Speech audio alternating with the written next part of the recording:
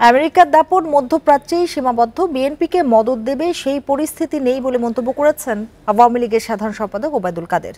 দুপুরে রাজধানী ধানমন্ডির রাজনৈতিক কার্যালয়ে ব্রিফিংয়ে তিনি এসব কথা বলেন।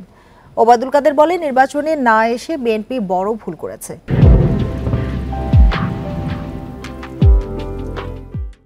ভবিষ্যতে আরও বড় মাসুল দিতে হবে তাদের। বিএনপি রাজনৈতিকভাবে এগুলে আওয়ামী লীগেও তাদের রাজনৈতিকভাবে মোকাবিলা করবে। যদিও, যদি সন্ত্রাসের পথ বেছে নেয়, তবে আইন অনুযায়ী ব্যবস্থা নেওয়া হবে। আমাদের দেশে এসে এখানে বিএনপিকে আবারও মদত দেবে, চাঙ্গা করবে, সেই পরিস্থিতি বোধ এখন বিশ্ব রাজনীতিতে মোটেই নেই।